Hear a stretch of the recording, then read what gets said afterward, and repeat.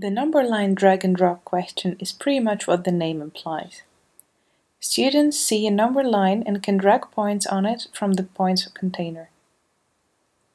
In this video we're going to create an example of such question. First we type the question for the students. Next come the number line parameters. Here we can set the minimum and maximum values of our number line. We can then type a number line title if needed. By default, the distance between ticks is 1, but for this task we need to set it to 1 over 2.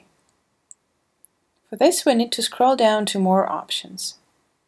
Here in the ticks distance box we insert 1 over 2. You can also insert the distance value as a decimal or a mixed fraction, but for our example we need a simple fraction. Now we can see the ticks are displayed every half of a point. Now let's scroll back up to the list of possible points. Here we insert values for draggable points that will appear in a container below the number line. Click on Add if you need to add more points. Now we need to validate the question. Here you'll see the number line we just created and the possible points. We simply drag the points on the correct position on the number line. And the correct response is set. Under More options you'll find additional number line attributes.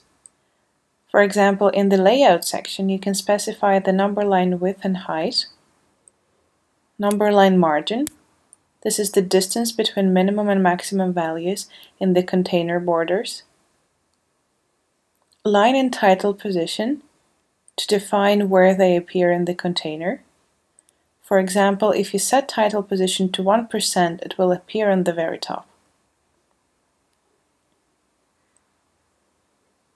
In the tick section, you can set whether or not to display ticks on the line and specify the distance between ticks.